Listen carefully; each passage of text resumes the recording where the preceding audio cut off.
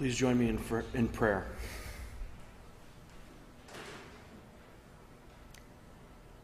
Holy Spirit, as we hear the story of the feeding of the 5,000, we gather before you in this place, some of us in fragments, some fragmented from people in our lives. And so we ask you, as we turn our hearts and our lives to you, to gather up the fragments and to show us the abundance that is here. Amen.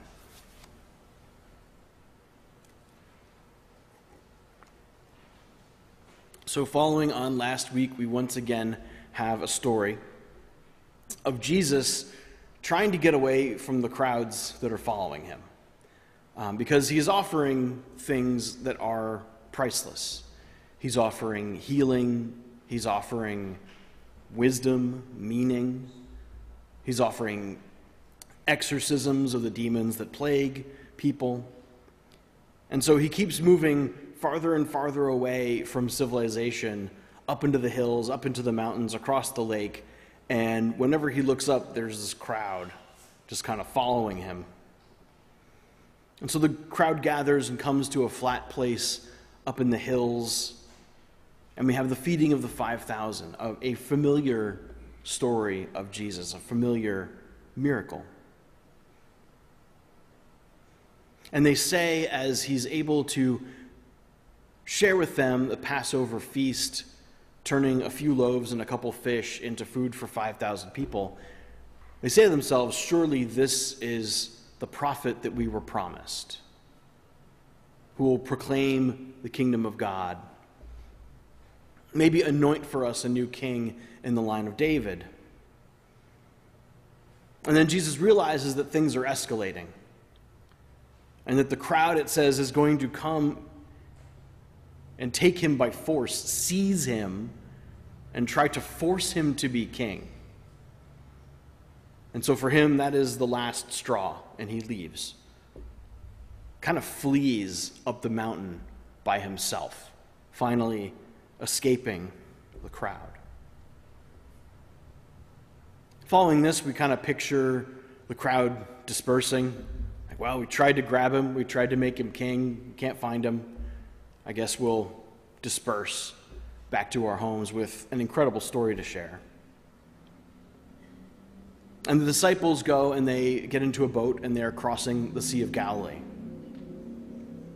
And we have the shorter version of the story of Jesus walking on water, kind of walking past them, like waving as he goes. But for this sermon, I want to focus on the first story and on the reading from Ephesians, and I want to focus on the theme of power. Reading the passage in Ephesians, uh, it's about a lot of things.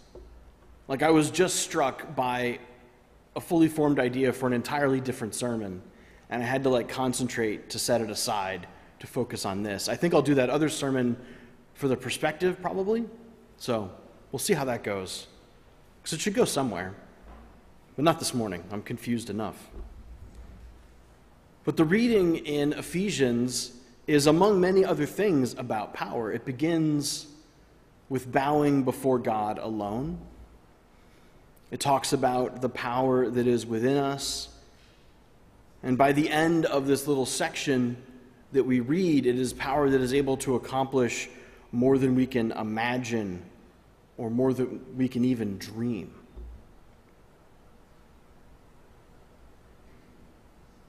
And so I had power on my mind, I guess, different kinds of power, as I was reflecting on these readings.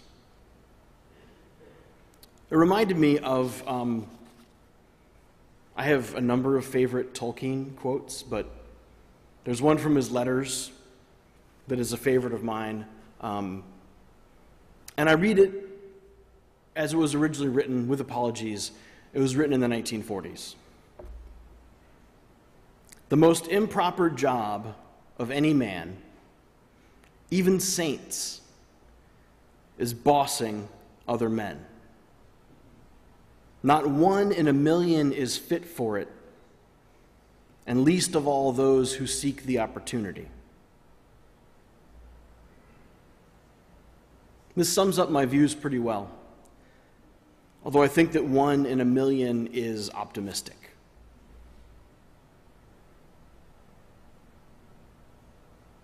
Power over other people, authority over other people, is something that humans desperately seek. It is one of the things that we are reliably willing to kill for, to seize by force, to gain through threats and manipulation. It's also a kind of power, the power over other people, that Christ never uses. In fact, when he's offered that kind of power, albeit by Satan, he refuses.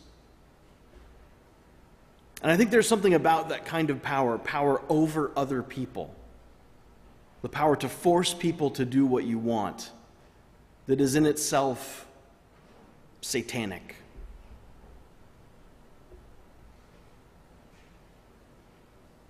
when Christians have power over other people, when we gain power to force people to do what we want, it is the worst thing to happen to our faith. It began relatively early, but really hit us when the Roman Empire converted to Christianity. And suddenly, we are the ones who can nail people to crosses. And we are the ones with armies that can conquer. And we are the ones with military parades through the streets and banners and swords and spears and shields. And I think at that point we became infected with the disease of power. And I think you can draw a relatively straight line from Roman imperialism to European imperialism to Christian nationalism today this infection in Christianity where some of us continually seek power over other people or want people to wield power over others on our behalf. To say yes to Satan's offer, where Jesus said no.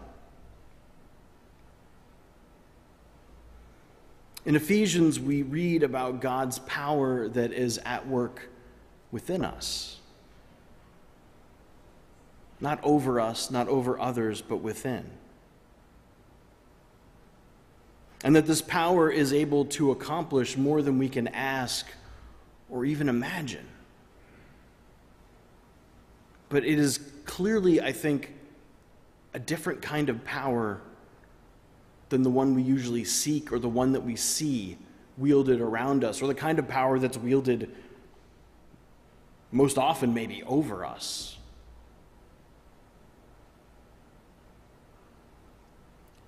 Jesus is continually moved by the needs of the people around him. Like, even when the text tells us he wants to get out, he's, he's full, he's done, he's frustrated, he's exhausted, he's spent, he tries to leave. And then, as in our reading last week, people come and find him. And he's like, oh, okay. He sees that they're like sheep without a shepherd. And he just has compassion for them. And so he takes a deep breath and goes back in to continue to serve. And he gives of himself and he remains present for people who are in need until the thing they need is a king. He offers himself to them until what they want to offer him is power. And then he leaves.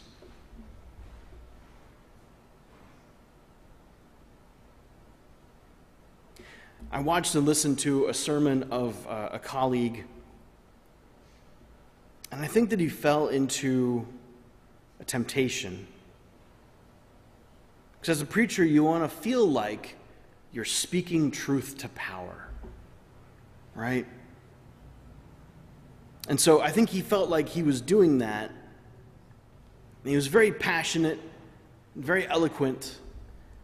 And I think that he forgot that the people in the room that he was talking to are not power brokers in the world. It's just a regular congregation. Looks, I saw it on video, it looks a lot like our congregation. And I know that there are not power brokers here. I know that when I talk about seeking power over other people, many of us don't have that. We might not even actively seek it.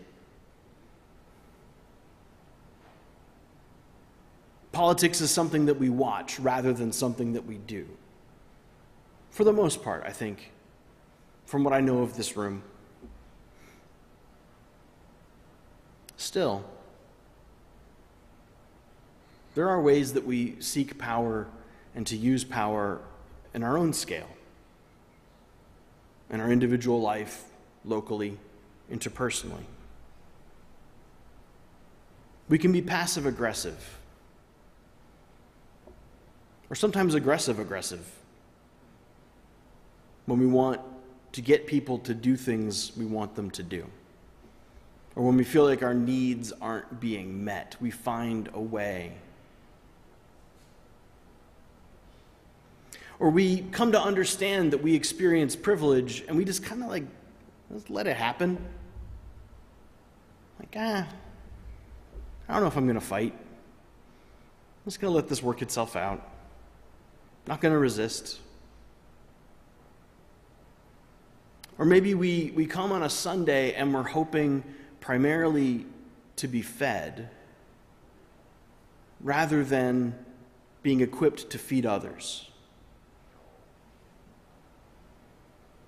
Or maybe we do things that are charitable. Like we help people who are hungry, we help the homeless, but we hesitate to ask, like, why are they hungry? Why are they homeless?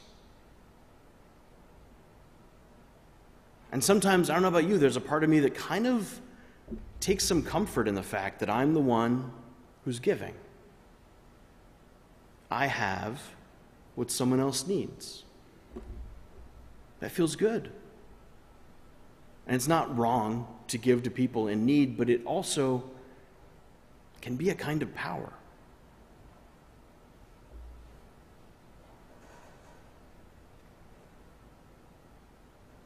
I think that as Christians, as followers of Jesus, we are at our best.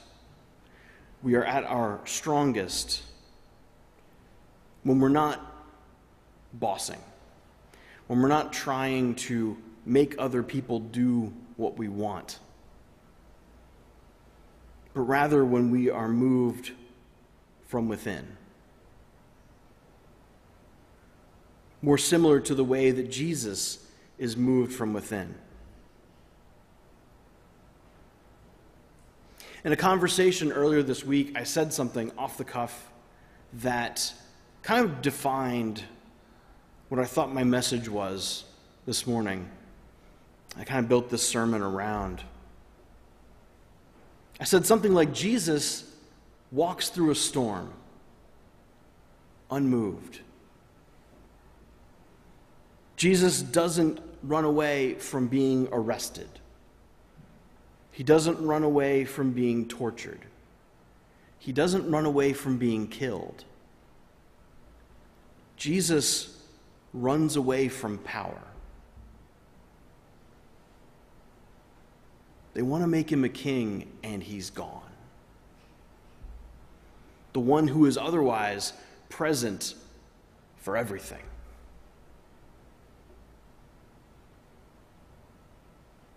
Found that really striking. So different from the way we often are. Thinking about it, I thought maybe it isn't that we're meant to be powerless, but we're meant to have a wholly other kind of power. Something that you don't see in history books very often, something you don't see in politics, something you don't see at work. Not power over other people, but a power within us, which allows us to continually be able to be moved from within, like Christ was moved from within, and to know when and how we are to move. I think that reading Ephesians as a follower of Jesus, my hope is that all the power that we need, we already have. There's no power we need to seek, there's no power we need to grasp or take. There's no one we have to find who will wield power on our behalf over, over other people. And if we have already the power that we need, then the question is are we willing to use it? Or maybe a better way of asking that question is are we willing to let God use us? Amen.